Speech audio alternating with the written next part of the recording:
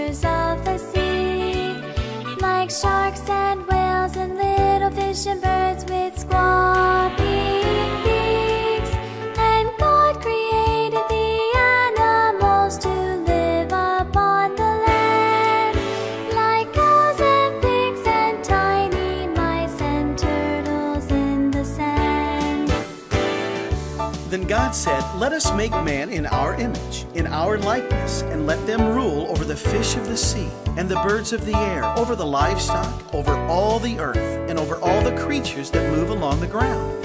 So, God created man in his own image. In the image of God, he created him. Male and female, he created them.